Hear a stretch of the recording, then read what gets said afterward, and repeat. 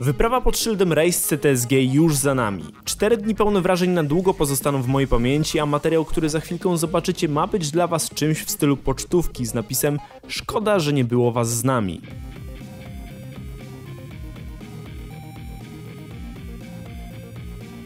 Wyjazd na Mazury odbył się w ramach współpracy z Różą Wiatrów, jednym z największych organizatorów obozów żeglarskich w Polsce. Konkurs, jaki na początku czerwca miał miejsce na moim kanale, wyłonił dwie osoby, które razem ze mną, wybrakowaną oraz sternikiem Adamem wyruszyły w rejs. Pierwszym zwycięzcą został Kamil, który zaskoczył nas swoją przeróbką jednej z popularnych szant. Link do jego pracy konkursowej znajdziecie w opisie do filmu. Kamil okazał się być doskonałym wyborem, bo już od dawna ciągnęło go w kierunku żeglugi. Lampki, które zapaliły się w jego oczach w momencie wejścia na pokład, gasły dopiero w momencie, kiedy wracaliśmy na ląd. Jak będziecie mogli zobaczyć w nagraniach wideo, uśmiech ani na moment nie opuszczał jego twarzy. Niestety druga zwyciężczyni z przyczyn niezależnych od niej musiała zrezygnować z rejsu na dzień przed planowanym wyjazdem. Ogłosiłem wtedy na Facebooku, że pilnie potrzebujemy kogoś, kto chce z nami wypłynąć. Błyskawicznie zgłosiła się do nas Kinga, która 12 godzin później siedziała już w pociągu do Węgorzewa. W moim odczuciu Kinga jest osobą, która uwielbia burzyć ścianę własnego strachu i stale szuka wyzwań. Zresztą sami zobaczycie to w dalszej części nagrania. Wszyscy zjechali się na miejsce w środę wieczorem. Znaleźliśmy czas na wstępne omówienie planu wyprawy, rozpakowanie naszych bagaży na jachcie oraz oczywiście na integrację. Noc minęła nam głównie przy śpiewie Kamila i opowieściach Adama. Pamiętam, że byłem bardzo zaskoczony tym, ile miejsca znajduje się pod pokładem bądź co bądź 8-osobowego jachtu oraz to, że świetnie usypiało mi się na lekko kołyszącej się na wodzie łodzi. W czwartek przed wypłynięciem Adam poinstruował nas, jak mamy zachowywać się na jachcie. Powiedział, na co powinniśmy zwrócić szczególną uwagę oraz wyjaśnił pokrótce, na czym będą polegać nasze główne zadania. Kiedy uznał, że jesteśmy już gotowi, no cóż, wtedy rozpoczął się punkt główny naszej wyprawy, czyli rejs. Przyznam się bez bicia, że nie potrafię pływać, dlatego początkowo poruszałem się po jachcie podkulony i niemal na czworaka. Dopiero z czasem nabierałem pewności, a w momencie kiedy w końcu wyprostowałem się przy maszcie, rozejrzałem dookoła i poczułem jak żagiel przechyla łódź pod naporem wiatru, Przeszedł mnie dreszcz, którego prawdopodobnie nie zapomnę do końca życia. Nie spodziewałem się, że żegluga zrobi na mnie aż tak silne wrażenie i tak bardzo przypadnie mi do gustu.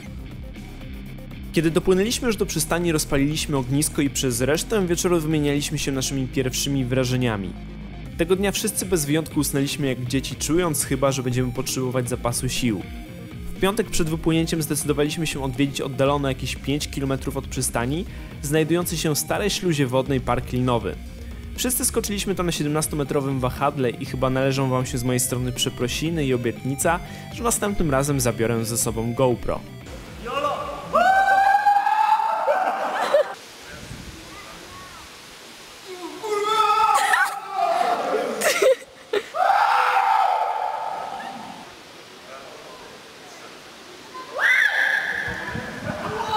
Lourdes.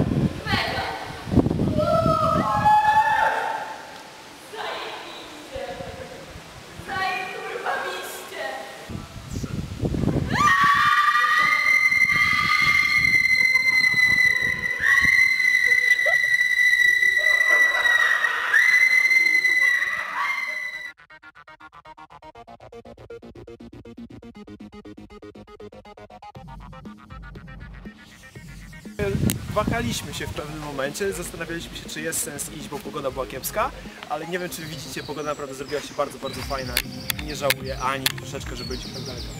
A zrobiliśmy łącznie 10 km, tylko po to, żeby skoczyć 17 metrów w dół. Musimy się przygotować i wypływamy dalej. Do Giżycka. Jak powiedziałem, tak zrobiliśmy. Podróż do Giżycka wspominam chyba najmilej, bo cała ekipa była pozytywnie podładowana skokami, pogoda sprzyjała, a trasa, którą przypływaliśmy była pełna ślicznych widoków. Wtedy też po raz pierwszy zasiadłem na kaczym dziobie, czyli na czołowej części jachtu, na której prawdopodobnie spędziłbym każdą minutę rejsu, gdyby nie wzywające mnie obowiązki. Do Giżycka dopłynęliśmy późno, a do przystani wpływaliśmy niemal jako ostatni. Odbywały się tam właśnie regaty, dlatego miasto tętniło życiem i wszędzie było słychać szanty. Nam również udzielił się ten klimat, dlatego z reszty wieczoru nie ma już żadnych nagrań.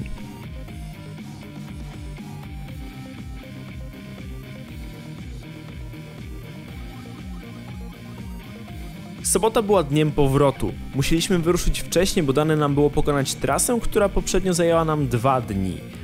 W dodatku pogoda była chyba przeciwko nam, bo ciągle padał deszcz, a zimny wiatr szybko odebrał mi sprawność ruchową.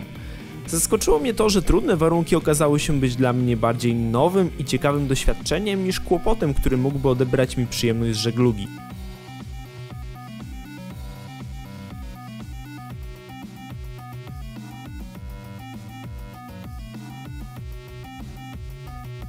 W przystani Róży Wiatrów czekała na nas niespodzianka. Ściganie się kładami świetnie dopełniło pełen wrażeń dzień i pozwoliło nam rozładować resztki zalegającej w nas energii. Większość z nas szybko się rozkręciła i po kilku rundkach gazowaliśmy już próbując dogonić siebie nawzajem.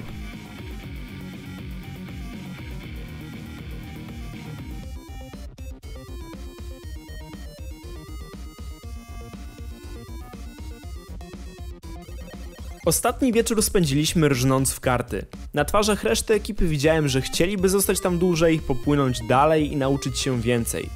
Prawdę mówiąc nie zdziwiła mnie nawet informacja o tym, że Kamil kilkanaście dni po rejsie wrócił do Róży Wiatrów na dwa tygodnie i zrobił tam patent żeglarski. Gratuluję Kamil, ja sam zbieram się z zamiarem zrobienia tego samego już w przyszłym roku. I to chyba tyle. Chciałbym podziękować Kindze Kamilowi, Ani i Adamowi za fantastyczny weekend, Róży Wiatrów za świetną organizację oraz uczestnikom konkursu za udział. Mam nadzieję, że uda mi się jeszcze przygotować dla Was podobne wyjazdy, być może dla większej liczby widzów naraz. Czekam na Wasze sugestie. Na dzisiaj to wszystko. Do usłyszenia już niedługo. Pa pa!